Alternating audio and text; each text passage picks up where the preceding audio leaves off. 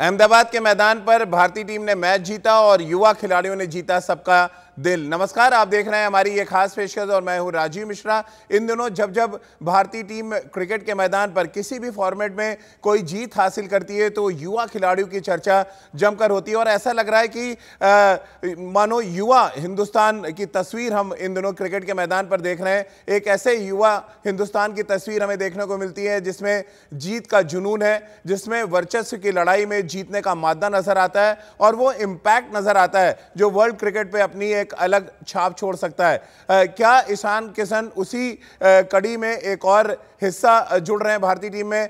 क्या ईशान किशन आने वाले समय में एक लंबी रेस का घोड़ा साबित होंगे? और ईशान किशन जिस अंदाज में, जिस अटैकिंग अंदाज में बल्लेबाजी कर रहे हैं, उससे क्या टी ट्वेंटी फॉर्मेट में चली आ रही परेशानी की जो हल की हम बात कर रहे हैं, उस हल को खोजने का काम भारतीय टीम मैनेजमेंट ने कर लिया है। इन सभी मुद्दों पर बातचीत करेंगे। हमारे साथ सबा करीम होंगे पूर्व विकेट कीपर और पूर्व क्रिकेटर साथ ही राजकुमार शर्मा जी हमारे साथ जुड़ेंगे। इन सभी से हम चर्चा शुरू करें। उससे पहले एक रिपोर्ट आपको दिखाते हैं। ये रिपोर्ट है ईशान किशन और ऋषभ पंत की शानदार बल्लेबाजी को लेकर। ऋषभ पंत ने दूसरे टी मुकाबले में छोटा स्कोर किया, लेकिन उसका बड़ा इंपैक्ट नज़र आया और ईशान किशन ने बड़ी पारी खेली और उसका इंपैक्ट और बड़ा नज़र आया। यानी कि इन दो, दोनों युवा खिलाड़ियों ने कुछ इस तरह की बल्लेबाजी की जिसकी चर्चा पूरे विश्व में हुई और इसी वजह से पाकिस्तान में भी इन दोनों खिलाड़ियों के तमाम फैंस एक साथ आकर खड़े हो गए और उन्होंने भी इन युवा खिलाड़ियों की जमकर तारीफ़ की।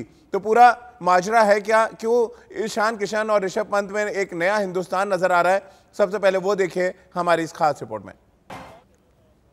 तो नए हिंदुस्तान की एक नई तस्वीर आपके सामने थी और ये वो तस्वीर है जो हमें बता रही है कि हिंदुस्तान आने वाले समय में कितनी निडर, कितनी बेखौफ क्रिकेट खेलने वाला है। और सबा, ये बेखौफ अंदाज जो है शायद सबसे ज़्यादा चर्चे में है, क्योंकि रन तो बल्लेबाज का बनाना काम है, लेकिन किस अप्रोच के साथ आप रन बनाते हैं, किस माइंडसेट के साथ साथ आप मैदान पर उतरते हैं, ये बहुत ज़रूरी हो जाता है। और इसीलिए चर्चा ऋषभ पंत की हो या ईशान किशन की इसलिए हो रही है कि उनका माइंडसेट उनका जो अप्रोच है गेम को लेकर, वो बड़ा पॉजिटिव है।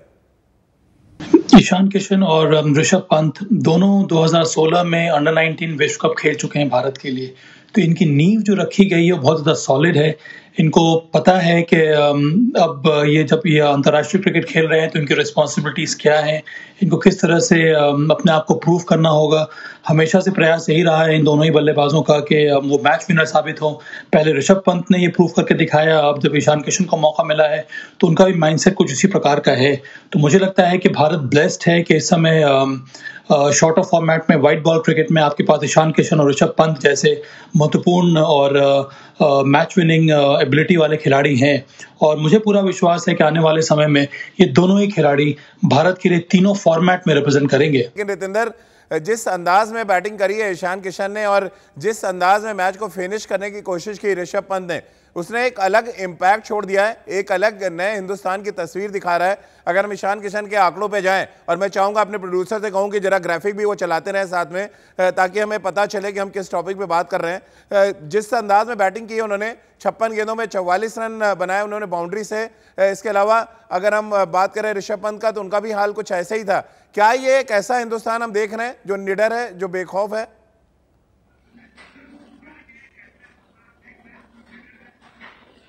जी हाँ राजीव बिल्कुल निडर है, बेखौफ है, लेकिन साथ साथ सेंसिबल भी है। क्योंकि जैसे विराट कोहली ने कहा, ताबड़तोड़ बल्लेबाजी ईशान किशन करते हैं। ऋषभ पंत की अगर हम बात करें, जिस तरह वो बल्लेबाजी करते हैं, किसी भी समय ये लोग छक्का लगा सकते हैं, चौका लगा सकते हैं, लेकिन कब लगाना है, वो बहुत इंपॉर्टेंट है। और वही फ़र्क होता है एक ऑर्डिनरी और एक्स्ट्रा ऑर्डिनरी प्लेयर में। विराट कोहली कुछ ऐसे हैं, उनको पता है कैसे सिचुएशन को अडेप्ट करना है। तो जी हाँ भारत का भविष्य सुरक्षित है, क्योंकि हमारे पास आज ईशान किशन है, हमारे पास आज मोहम्मद सिराज है, जिन्होंने बहुत बढ़िया ऑस्ट्रेलिया में परफॉर्मेंस दी। एक और युवा प्रतिभा है, और अगर बात करें ऋषभ पंत की I think he is a future man in the making क्योंकि जिस तरह उन्होंने परफॉर्मेंस हाल के कुछ मैचेस में दी है, मुझे ऐसा लग रहा है ये लड़का दस साल तो भारत के लिए आराम से खेलेगा। बिल्कुल, और रितेंद्र, तब थोड़ी खुशी और होती है जब वर्ल्ड क्रिकेट में हमारे युवा खिलाड़ियों की चर्चा और उससे भी ज़्यादा खुशी होती है जब पाकिस्तान में बहुत ज़्यादा तारीफ़ की जाए, क्योंकि आमतौर पर विराट कोहली, रोहित शर्मा की हम तारीफ़ सुनते थे जसवीत बुमराह की गेंदबाजी की चर्चा पाकिस्तान में बहुत होती है, लेकिन अभी इन दिनों जो महफिल लूटने का काम है ऋषभ पंत और ईशान किशन जैसे खिलाड़ी कर रहे हैं।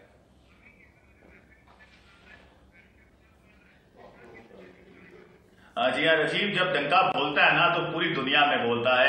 आज भारतीय प्लेयर्स की तारीफ़ पूरी दुनिया में है। आ, वो इसीलिए क्योंकि जिस तरह की हम क्रिकेट खेले हैं अगर आप ऑस्ट्रेलिया की बात करें अगर हम इंग्लैंड के साथ टेस्ट सीरीज़ की बात करें अगर हम टी ट्वेंटी की बात करें जिस तरह कल भारत खेला है it has been one sided all the way हमारी डोमिनेंसी नज़र आती है। कल जिस तरह बोलर ने बोलिंग किया किस तरह एक सौ अस्सी को हमने मैच एक सौ साठ के आसपास रोक दिया और उसके बाद जिस तरह बल्लेबाजी की it was domination all through तो विराट कोहली को बहुत मुबारकबाद देनी होगी, क्योंकि उन्होंने एक कल्चर जो लेके आए हैं भारतीय टीम में फिटनेस का। अगर आप फिट नहीं है, आपको सिलेक्ट नहीं किया जाएगा। और जब आप फिट होते हैं तो परफॉर्मेंस ऐसी आती है जैसे ईशान किशन और ऋषभ पंत कर रहे हैं। बिल्कुल, और खास तौर से तब रितेंद्र, और ये प्रदर्शन बढ़ जाता है जब आप रन चेस करते हुए इतने बड़े टारगेट के पीछे आप जाते हैं और आपकी जो शैली होती है, वो बहुत एग्रेसिव होती है। और जिस तरह से विराट कोहली ने भी चर्चा की खासतौर से ईशान किशन की बल्लेबाजी की। आपको भी लग रहा है रितेंद्र की सही शॉट सिलेक्शन या सही बॉल को पिक करना बड़ा इंपॉर्टेंट होता है? आप चाहे जितने भी अग्रेसिव हों और ये करके दिखा रहे हैं, ये हमारे युवा बल्लेबाज।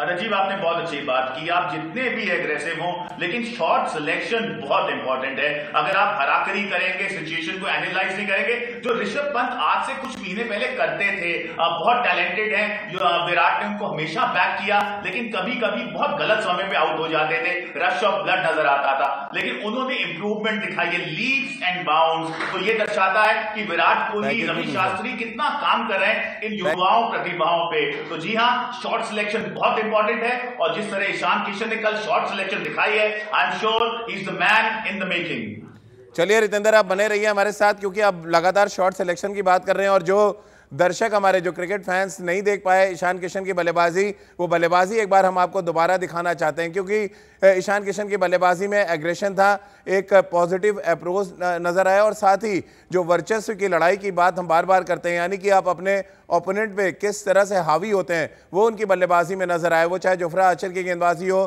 चाहे टॉम करन की गेंदबाजी हो या बेन स्टोक्स को, सबको समान अधिकार के साथ उन्होंने बल्लेबाजी की और गेंद को बाउंड्री पार पहुँचाया। तो आपने देखा, ईशान किशन ने अपने पहले ही मैच में, अपने डेब्यू मैच में किस तरह का इम्पैक्ट डाला। पूरी वर्ल्ड क्रिकेट में उनकी चर्चा हो रही है। पाकिस्तान जैसे देश में भी ईशान किशन का नाम गूंज रहा है और हो भी क्यों ना, जिस अंदाज में उन्होंने बैटिंग की और जिस एग्रेशन के साथ उन्होंने इंग्लैंड के तेज़ गेंदबाजों की पिटाई की, उसकी वजह से वो इम्पैक्ट नज़र आ रहा है वर्ल्ड क्रिकेट में। हमारे जो गेस्ट हैं, हमारे क्रिकेट एक्सपर्ट्स हैं, हमारे साथ एक बार फिर जुड़ रहे हैं, उनसे हम बातचीत एक बार शुरू कर लेते हैं। सभा क्या आप कह सकते हैं कि दो दो धोनी इस समय भारतीय टीम को भारतीय क्रिकेट को मिल चुके हैं? कुछ ऐसा ही लग रहा है और अगर दो दो धोनी मिल जाए भारतीय टीम को तो इससे बड़ी बात और क्या हो सकती है। जी। पर जिस निडर अंदाज में जिस बेखौफ अंदाज में इन दोनों खिलाड़ियों ने बल्लेबाजी की है और इनको पता है कि इनका रोल क्या है शानदार तरीके से एग्रेशन भी दिखाया वो भी कैलकुलेटेड रिस्क लेकर और बहुत लोगों को ये मालूम मालूम नहीं होगा कि ईशान किशन ने पिछले आईपीएल सत्र में तीस छक्का लगाया था। वो जो सिक्स हिटिंग जो एबिलिटी है वो इन दोनों ही लेफ़्ट हैंड बल्लेबाजों में है और इसकी आवश्यकता है इस समय भारतीय टीम को। और आने वाले समय में टी ट्वेंटी के लिए बहुत अच्छा प्रिपरेशन है भारतीय टीम के लिए भी और इन दोनों खिलाड़ियों के लिए भी। और जितना भी इनको मौका मिलेगा उससे इनका आत्मविश्वास और ज़्यादा बढ़ेगा बिल्कुल राजकुमार जी आप भी मानते हैं एक धोनी की तलाश में हम जुटे थे दो दो धोनी अचानक सामने नज़र आने लगे हालाँकि ये कहना बहुत जल्दबाजी होगी अभी। राजीव जिस तरह की पारी चाँद किशने के लिए वो बहुत ही लाजवाब है। और पहले मैच में अपने पहले मैच में डेब्यू मैच में आ, कोई भी प्लेयर थोड़ा नर्वस होता है लेकिन जिस तरह की बल्लेबाजी ईशान किशन ने की है तो उन्होंने दर्शाया कि कितना आत्मविश्वास है उनमें और कितना इम्पैक्ट डाला है उन्होंने इस इनिंग से। ये पूरे वर्ल्ड क्रिकेट में उनकी चर्चा हो रही है और ये बहुत बड़ी खबर है भारतीय क्रिकेट के लिए कि जी दो विकेट कीपर ग्यारह में खेल रहे थे और दोनों ऐसे प्लेयर हैं जो अपना इम्पैक्ट डाल सकते हैं और कभी भी भारतीय टीम को मैच जिता सकते हैं। बिल्कुल, और सबा ये सवाल मैंने रितेंद्र से भी किया था, आपसे भी करना चाहूँगा कि इन दिनों जब भी कोई युवा क्रिकेटर मैदान पे आता है फॉर्मेट चाहे कोई भी हो, उसका इम्पैक्ट नज़र आता है। क्या ये नए हिंदुस्तान की तस्वीर हम देख रहे हैं जहाँ पर फियरलेस क्रिकेट है, जहाँ पे किसी भी बात का कोई डर नहीं है? हाँ राजीव उससे बड़ी बात यह है कि अब नए और युवा खिलाड़ियों को मौका मिल रहा है। जी। इतने सारे हमारे पास यंगस्टर्स हैं जिन्होंने हर क्षेत्र में प्रभावित किया इंडिया ए के लिए भी अंडर 19 के लिए भी आईपीएल में भी। तो अब अब उनको इंतज़ार रहता है कब उनको मौका मिले भारतीय टीम में खेलने के लिए ताकि वो भी अपना नाम कमाना जानते हैं। वो भी चाहते यही है कि वर्ल्ड स्टेज में उनका नाम हो और वो भारतीय टीम के जीत में योगदान दें। तो मुझे लगता है कि अब टीम मैनेजमेंट की सराहना करनी होगी चयनकर्ताओं की सराहना करनी होगी। जिन्होंने इन युवा खिलाड़ियों को मौका दिया है। और सबसे बड़ी बात होती है कि सही समय पर अगर आपको मौका मिल जाए तभी आप परफॉर्म करेंगे। तो बहुत ही शानदार कंपटीशन हो रहा है इस समय भारतीय टीम में एक हेल्दी कंपटीशन है। जिसके वजह से हम्म। हर एक खिलाड़ी जो है वो सिर्फ़ इंतज़ार करता रहता है कि उसको कब मौका मिले और वो परफॉर्म करे। चलिए सबा बहुत बहुत शुक्रिया आपका राजकुमार जी और रितेंद्र आपका भी बहुत बहुत शुक्रिया हमारे साथ जुड़ने के लिए। तो हमारी इस खास पेशकश में फ़िलहाल इतना ही।